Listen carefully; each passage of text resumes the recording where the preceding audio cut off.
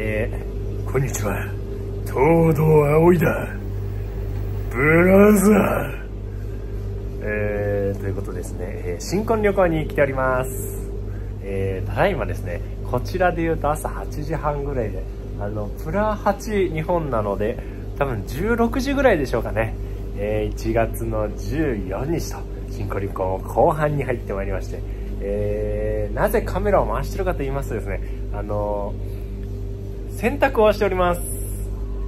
あ、なんか、うわあのー、本当はね、フランスのホテルで、あの洗濯サービスがあるというふうに聞いてて、で、そこでね、あの洗濯をね、頼もうと思ったんですけど、こう、1着 T シャツで3.5ユーロかかると。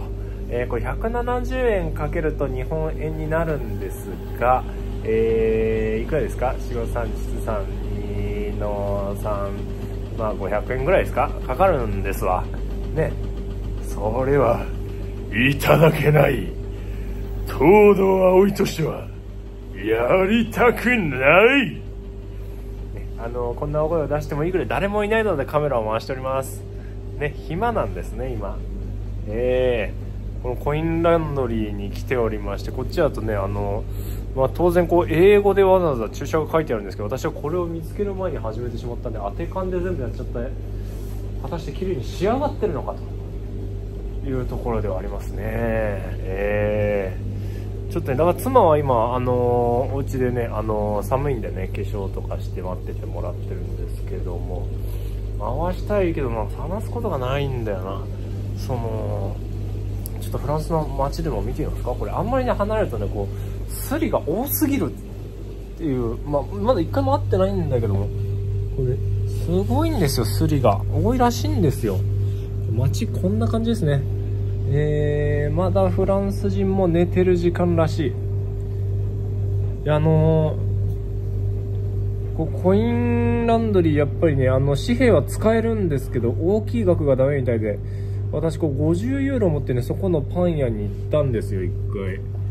ねそしたらあのまあ、コーヒーを持ってね頼んでね崩そうと思って、まあ、コーヒー飲みまして最後お会計ですってこう支払ったらですね50ユーロでかすぎて使えないと言われてただただコーヒー飲んだだけと、えー、拓也損 そんな一幕もありましてね。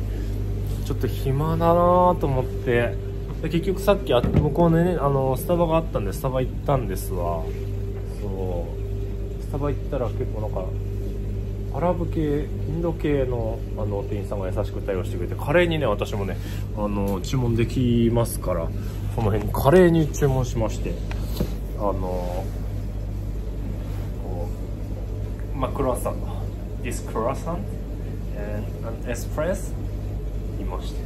OK ショートってああショート。そこまでかっこよかったその「ハバナイスデート」言って You too みたいな。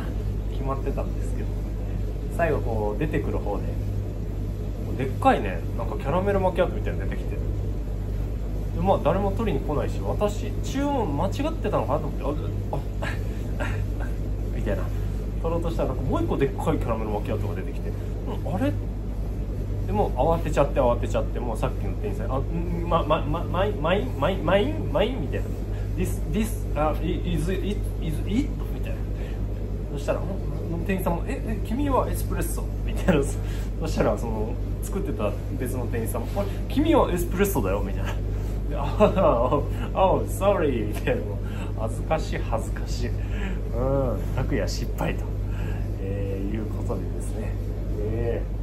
まああのあれですよ。もう動画上がってるか分かりませんけども、えー、私大泉洋のですねあのー、水曜どうでしょうのねこう漢字のねえー、動画を撮りますから今日は。まだね妻に言ってないんです。撮ってくださいって。これね非常に私は後出しじゃんけんなので揉める可能性今怖いです。うん。聞いてないと。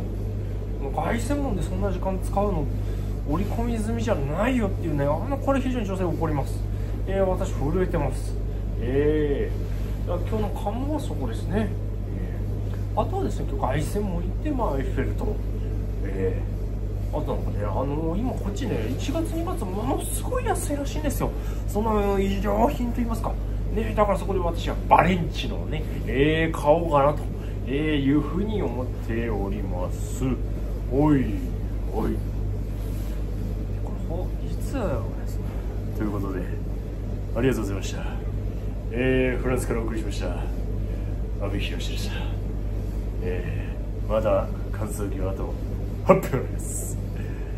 8分あります。ここに行け。ここにいろ。初めてじゃないか。フランスで安倍さんのままでやった人。